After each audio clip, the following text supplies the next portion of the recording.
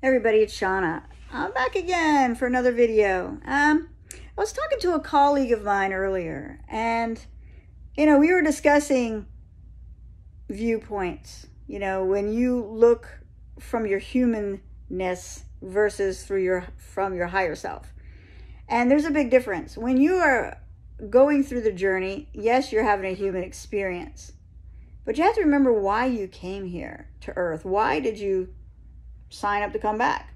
Well, you sign up to come back because Earth is a school, right? It's a lot of learning, it's a lot of hands on experience. Now, you can go to any school and read in a book. You're not going to get the same thing as if you're actually hands on, you know, living it. So, say you go to a survival school, right? And you mostly you're just reading the book and you're taking tax, you know, tests. And then you're dropped off in the woods and they're saying, okay, now you got to do what you just learned in class. You're going to learn a lot and gain a lot of knowledge in that hands on experience. That's what life is. That's what life is on earth. We sign up for the lessons that we need to learn to to evolve. So if you get caught up in your humanness, but yes, we're having this experience. We're experiencing it one to pay back karmic debts, and two to advance our soul uh, growth and knowledge, right? To actually have hands on experience of what it means to be in love and to have emotions and have compassion. And um, just remember that we are a very small aspect of who we truly are. We're a, just a small aspect of our higher self, stuffed in this little vessel here on earth, learning. And it's just it's just amazing that if you go through these challenges that you've thrown at yourself, it's going to be very hard for you. Excuse me, it's going to be very hard for you um, it's a lot easier when you change your perspective, your perception on things. If you could just reprogram yourself to flip that switch. For example, I'm in a counterpart scenario. And in the beginning, my counterpart would say something or do something it would trigger the shit out of me. I mean, to be quite honest. And in the beginning, I was like, man, what is she? Why is she saying this? Why is she doing this? Why? I don't understand. Why can't we just get along? Why can't it be smooth? And later, I learned you know, I learned to embrace those triggers because she was actually bringing up wounds that needed to be healed in me. And I was really grateful. I really had a lot of gratitude for her.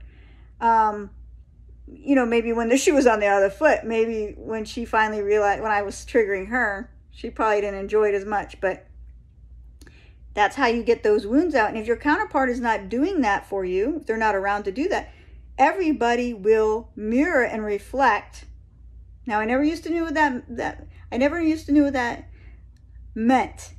That means that person, there's people will come into your life to mirror something within you that needs to be healed. And we have karmic people, you know, that that we sign up to agree to to meet and be with. Um, or to have some form of it could be a parent, could be a sibling, could be a love relationship, could be a job, you know, could be a financial um, situation. And um, usually, karmic situations are not very good experiences. Well, in the beginning, they all seem like that, oh, it's a great scenario, and I'm going to go in this great relationship, and things start to go turn sour really quick. There are always red flags and everything, but we ignore them. Those red flags are patterns and situations that we see that we need to stop but we continue on to see where they take us, right? That's the lesson we learn. But when we finally realize, I know a lot of people who will say that what their patterns are, but they keep repeating them. They don't stop them.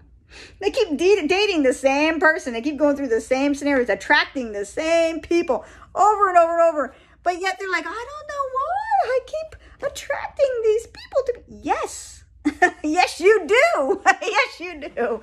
You attract people at your vibration. You're attracting that experience to you because you need to heal it. And um, a lot of people don't know how to heal. Okay, so what are the tools to heal? What do you do? A lot of things I like to do is take my client backwards in time and they hold their um, visualization is very important. They hold their child self hand through the situation.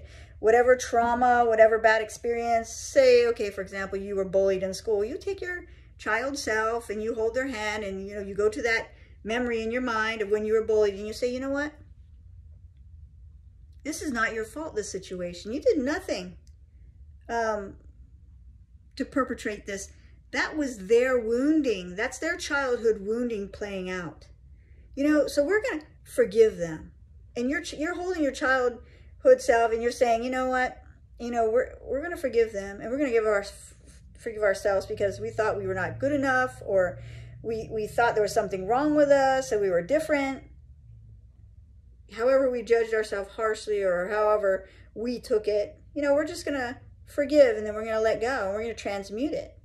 To transmute it means we're just going to give it back to the universe. But we have to forgive. And you have to go back through your timeline and forgive each and every person not you don't call them on the phone, you don't go to their house. In your mind you do it when you're on that timeline, when you're walking backwards in your mind. You have to visualize it. And people do not want to go, you know, through those memories. They're very painful memories, but you know what? You have to do it if you want to heal it and release it.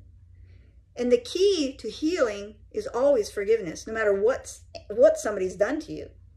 I don't care if they raped you and murdered you and burned you and set you on fire in every single life that you ever with together. You still need to forgive them.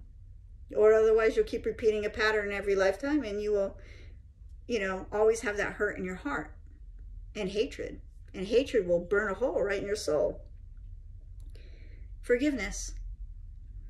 And the thing, once you forgive, it doesn't happen to you anymore because you're not going to allow it to happen. You're not going to allow anybody to take advantage of you. You're not going to allow anybody to um, step in your boundaries, you know, over your boundaries. You're not. But that doesn't mean you're going to close your heart off either. So it's very important that you look from a higher perspective, that every person has come into your life to teach you something. Everybody's a teacher, and everyone is a student at the same time. We're here to learn and evolve.